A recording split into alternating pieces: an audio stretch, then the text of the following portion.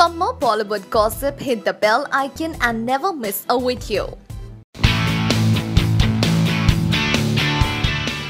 Salman Khan is one hell of a busy bee presently shooting for Tiger Zinda Hai, working on his promotional events for the soon to release Tubelight and of course gearing up to host two reality shows. Well, well, if only a day had more hours. While Salman seems quite happy the way things are shaping up, he clearly regrets signing up for Tiger Zinda Hai. What made the Bandra boy regret?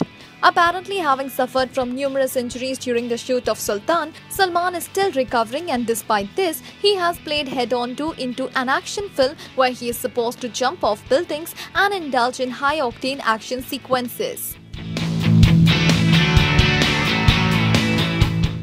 This is something which is clearly taking a toll on his health, thus making him regret. He revealed, In Sultan, there were lots of physical pain, ligament tones. My knees are still hurting now, and now I have signed Tiger Zinda Hai like a fool. I am jumping off buildings, shooting guns, all that action.